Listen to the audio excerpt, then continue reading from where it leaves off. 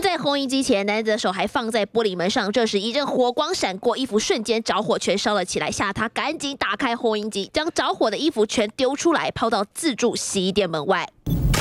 汽车上全是焦黑的衣物，现场紧急拉起封锁线，洗衣店暂时不再营业，瞬间火苗吓坏附近民众。看到这个吓死啊！怎么回事？对啊，然后他说因为那个他他那个衣服是。